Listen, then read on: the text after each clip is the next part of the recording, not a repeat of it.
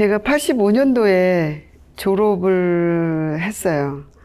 85년도에 졸업하기 전부터 항상 그 이제 마음속에 계속 작업을 계속 하려면 어떤 구조가 필요한지는 어 일단 경제적 자립이 저는 되게 중요하다고 봤어요.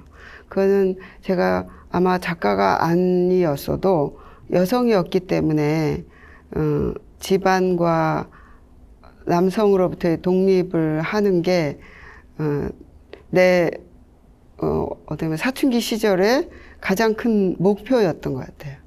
그래서 이제 그 당시 할 수 있는 게 2월에 졸업했는데 12월에 그 전에 이제, 그러니까 84년도 12월에 졸업하기 전에 화실을 차렸죠.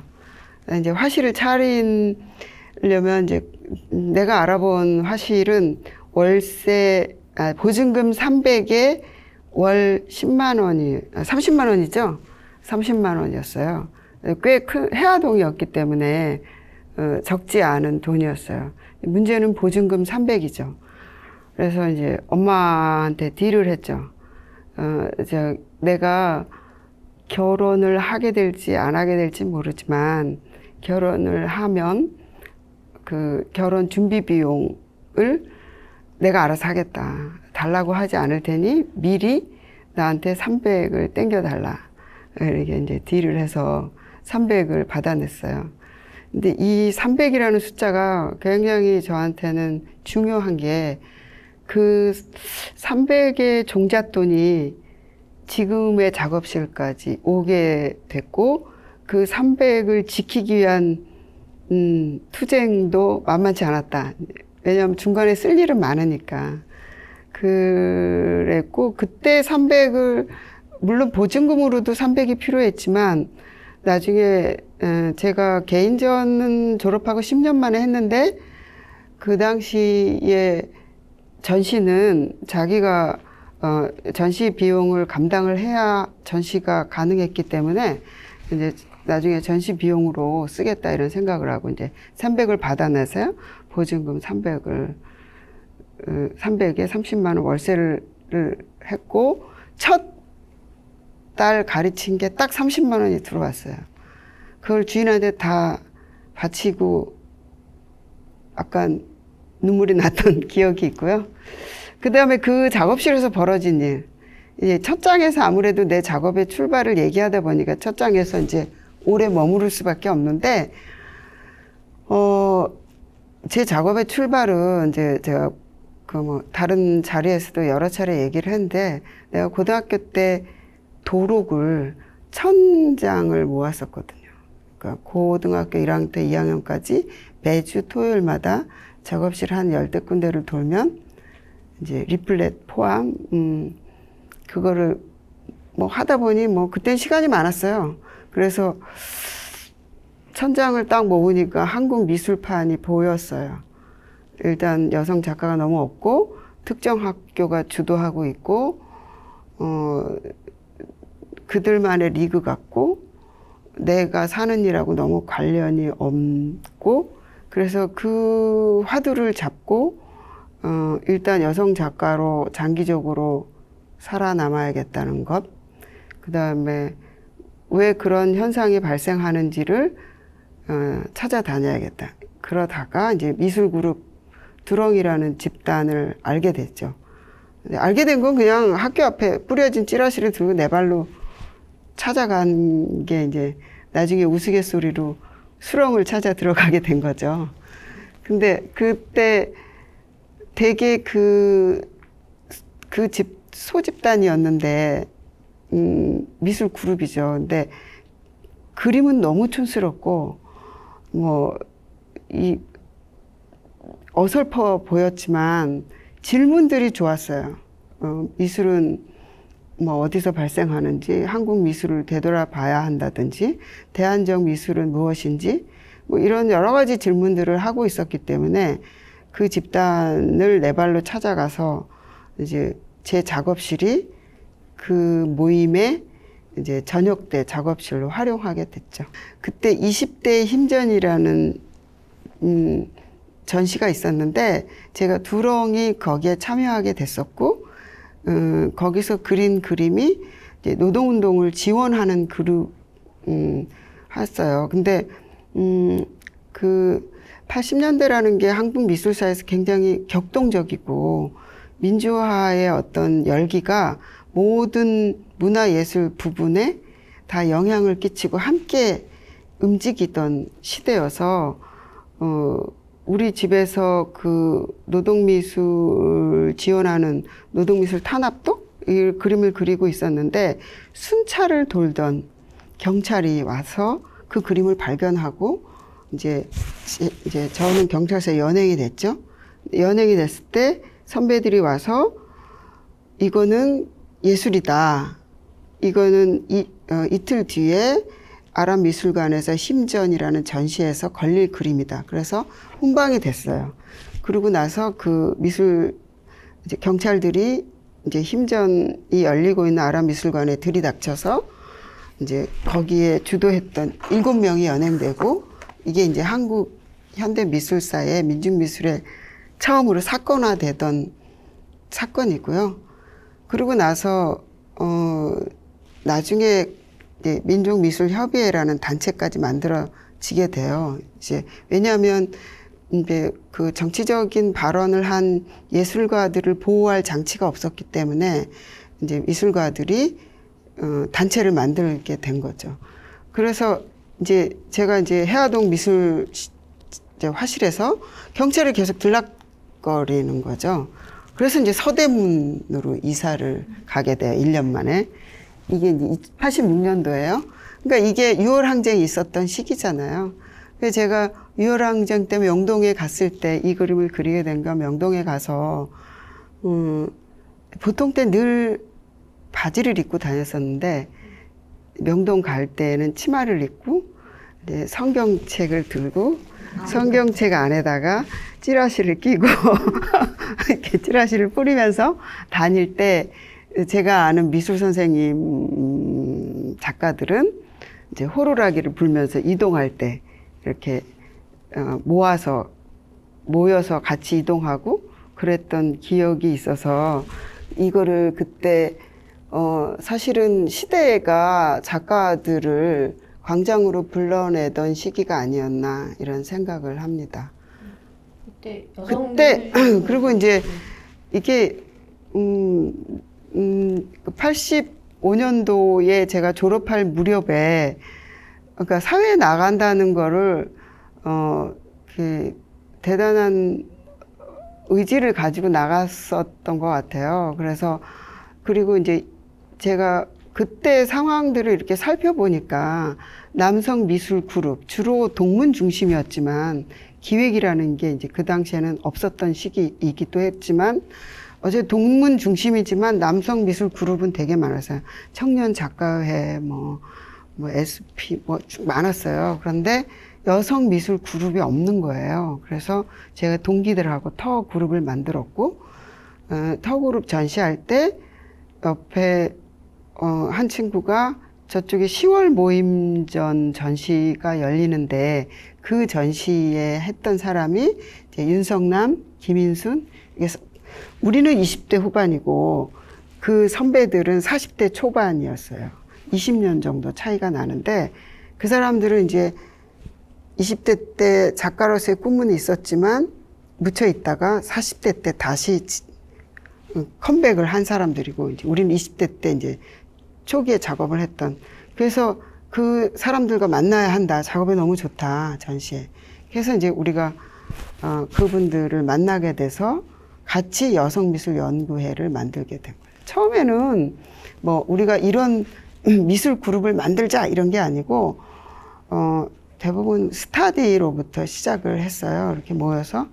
그러니까 이제 공부라는 게 이제 혼자 하면 진도도 안 나가고 그리고 정보도 빈약하니까 그리고 이제 그 당시만 해도 한국 미술계의 상황이라는 게 되게 폐쇄적이고 유학을 가지 않는 한 어, 외부적인 정보를 얻기가 힘든 때여서 그리고 학교에서는 질문을 하지 않는 교육 풍토였죠. 그러니까 학교에서 배우는 게 별로 없었고 그래서 이제 음, 우리가 스타디부터 시작을 했었어요.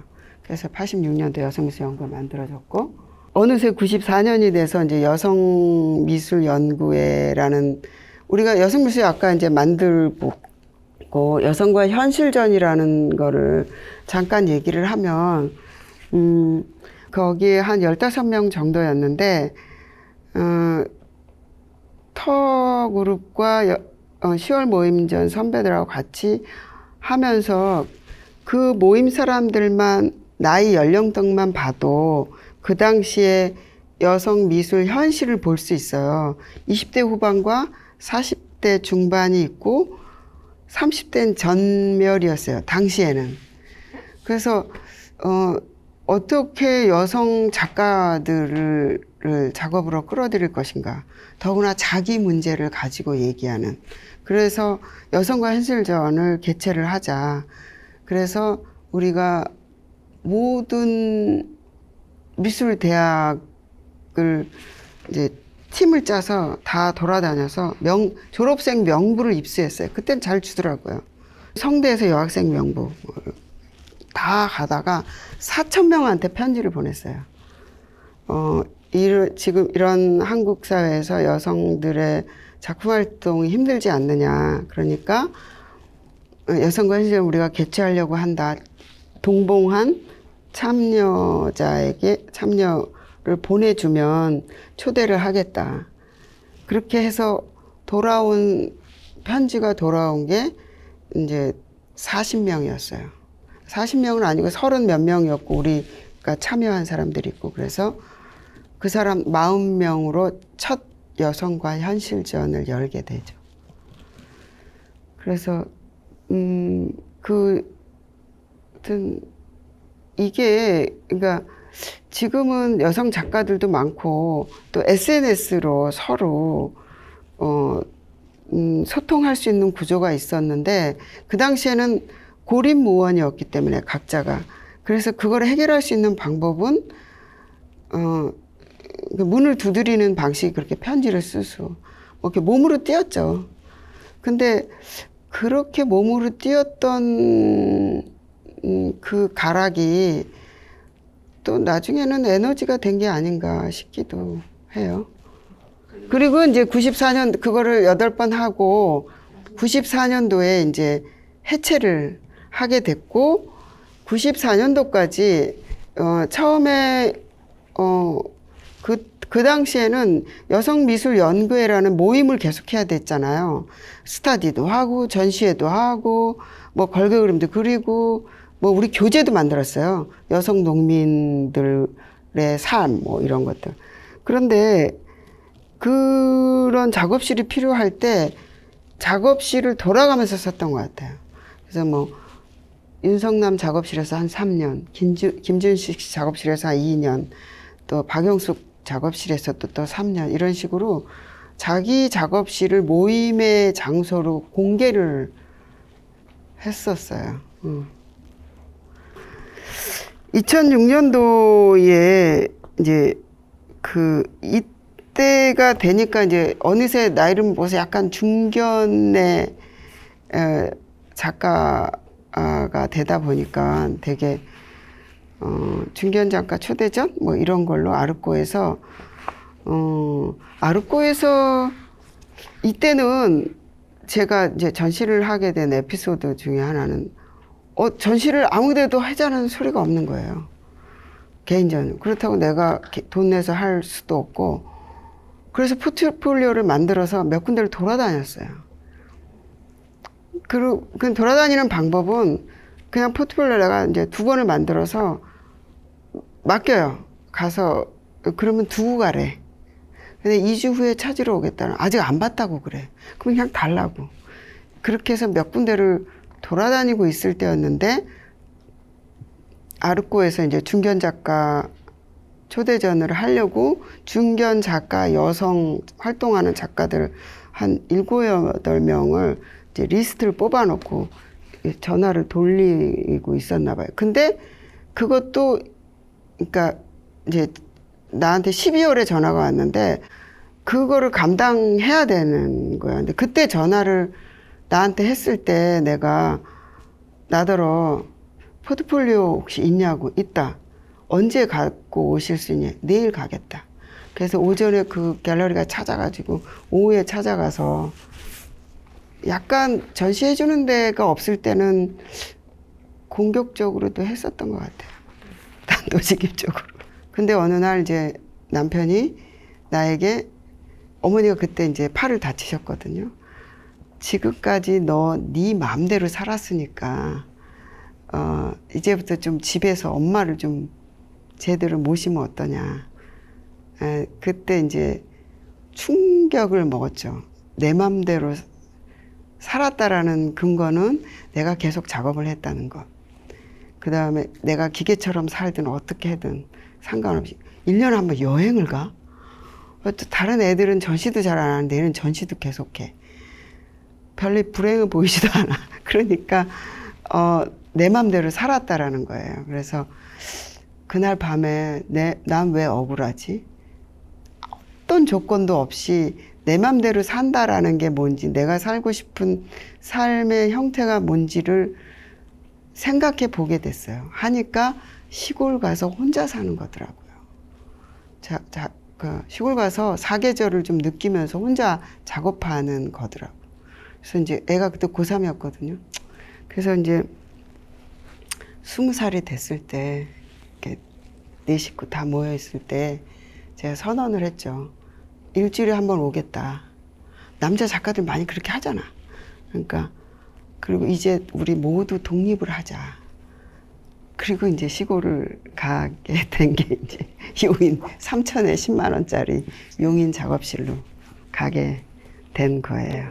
어, 이제 첫 개인전 하고 나서 약간 내가 너무 제자리 걸음을 하고 작업을 계속 하는데 내 작업이 정체돼서 제자리 걸음하고 있는 있다고 느낄 때 그때가 제일 위기였던 것 같아요. 그러니까 어, 어, 나는 내가 뭘 포기한다, 안 한다, 이런 생각은 해본 적이 없는데, 다른 삶을.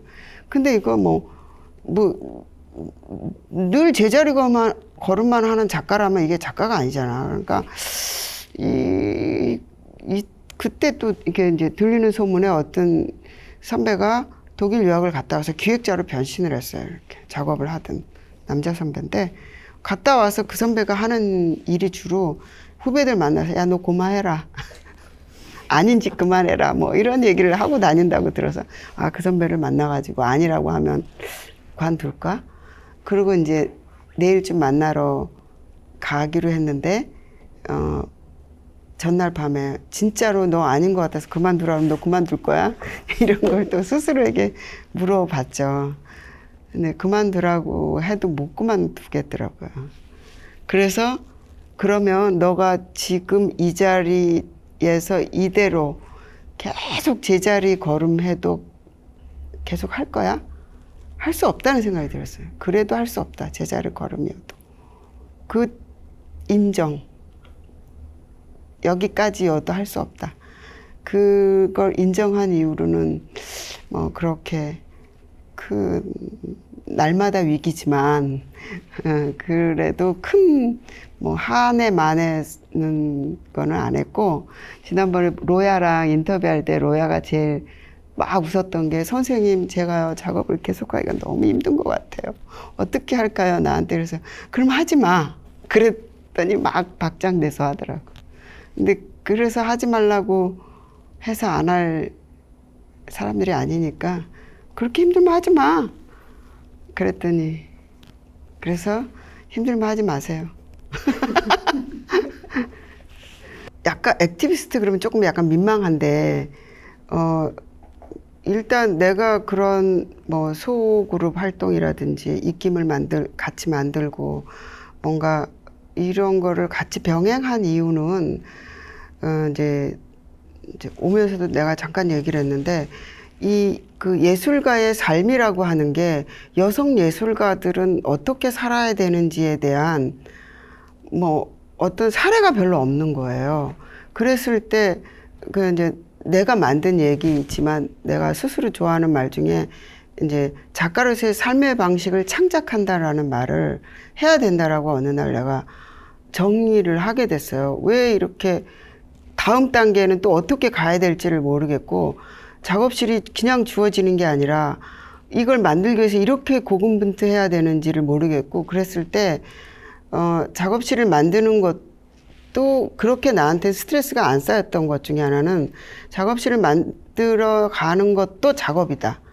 라고 나는 생각을 했어요. 그래서, 그래서 그걸 위해서 막 일러스트 할 때도 뭐, 이거 뭐 내가 헛짓한다고 생각해 본 적은 없고, 근데, 어, 작, 그 여성, 남성 작가들도 마찬가지. 지금에 와서 작가로서의 삶의 방식은 우리 때보다 훨씬 더 어려울 수도 있어요. 왜냐면 유혹이 더 많고, 또 우리는 이렇게 작품을 팔아서 안 되면 가르치기도 하고 뭐 일러스트도 하고 이런 게 작품이 안 팔리면 음안 팔리는 대로 자부심이 있었어요. 그러니까 어 세상이 날 모르는 거지 뭐 그리고 팔리면 야 쟤 팔리는 작가야 뭐 이런 거라도 있었어요. 시- 최소한의 자부심이.